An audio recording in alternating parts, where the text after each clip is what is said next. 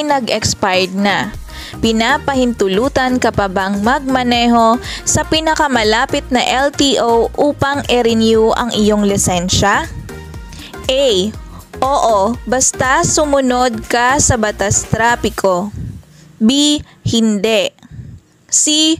Oo, basta dumiretso ka sa pinakamalapit na tanggapan ng LTO at huwag hihinto sa daan. Ano ang pinakamasamang mangyayari sa away kalsada? Kamatayan? Mas maraming kaibigan? Refreshment? So, sagot ko is A. Yan. Anong klaseng helmet ang dapat gamitin ng rider ng motorsiklo? A. Standard motorcycle helmet na sumusunod sa regulasyon ng DTI. B standard motorcycle helmet na sumusunod sa panuntunan ng DENR, standard motorcycle helmet na naaayon sa panuntunan ng DTI. Sagot ko is C. Maaari ka bang magmaneho ng motorsiklo kung ang iyong lisensya ay may DL code B? A. Oo. B. Hindi. Maliban kung pinahihintulutan ng traffic enforcer. C. Hindi. Alin sa mga sumusunod ang kwalifikasyon ng isang maayos na driver? A. Mga driver na may kaalaman sa pagsasaayos ng pinansyal. B. Mga driver na nagbabayad ng buwis sa katapusan ng buwan. C. Mga driver na may positibong pag-uugali sa road safety. So, ang sagot is C. Ano ang dapat gawin ng isang driver pagkatapos niyang mag-overtake sa isang sasakyan? A. Manatiling magmaneho sa nasabing lane. Bumalik sa original na lane ng maingat tumingin sa mata ng driver. So, ang sagot ko is B, bumalik sa original na lane.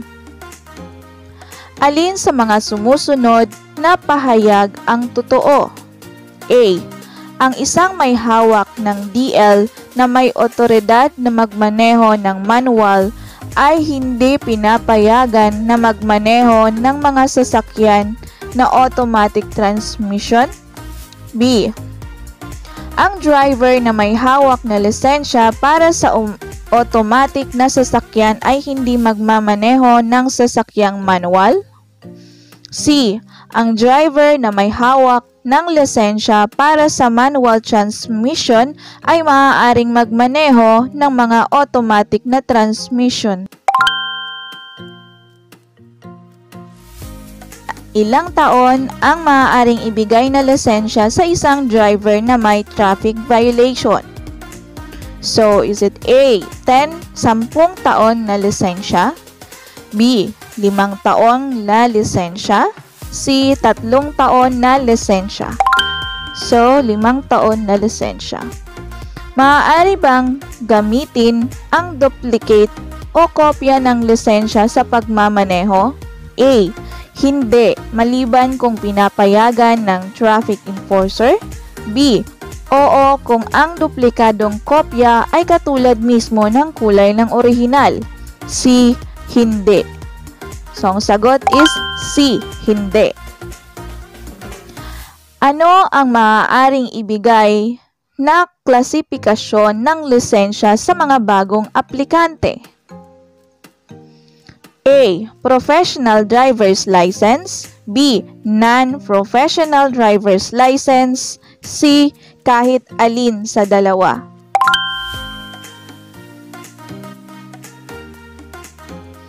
Ano ang pangunahing layunin ng regular na pag inspeksyon ng sasakyan? A. Para siyasatin ang mga numero ng chassis ng motor at ng sasakyan B. Para tingnan ang kaayusan ng sasakyan. C. para tignan ang pagganap ng driver sa kanyang pagmamaneho. So, ang sagot ko is B, para tignan ang kaayusan ng sasakyan. Ang isang fabricated na kompartimento na lagayan sa likod ng upuan ng motorsiklo na itinuturin na isang aksesorya ng motorsiklo. So, A. Top box B. Customized top box C. Saddle bags slash box Saan dapat ilagay ang plaka sa isang sasakyan? A. Isa sa harap at isa sa likod ng sasakyan. B. Dalawa sa harap. C. Isa sa harap ng windshield at isa sa likuran ng salamin. Ilang taon ang maaaring ibigay na lisensya sa isang driver na walang traffic violation? A. Limang taon na lisensya B. Sampung taon na lisensya C. Labinlimang taon na lisensya Anong edad maaaring sumakay sa harapan ang isang bata na aayon sa RA 11229?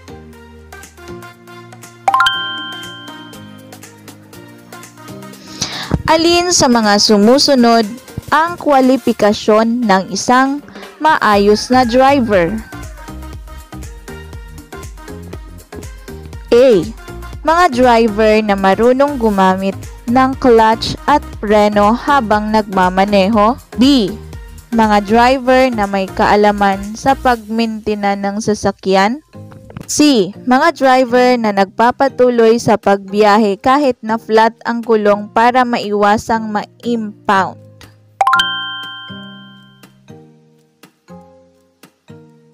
Alin sa mga ito ang layunin ng pagkolekta ng motor vehicle users?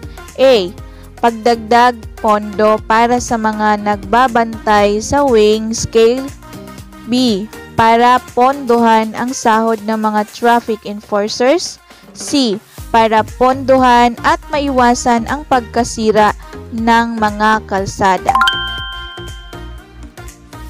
Anong linya ang dapat mong gamitin sa 3-lane na expressway kung ikaw ay nagmamaneho ng kotse? A. Sa unang lane B. Pangalawang lane C. Pangatlong lane Anong kulay ng ilaw ang maaaring idagdag sa harap ng sasakyan? A. Kahit anong kulay ay maaari. B. Pula.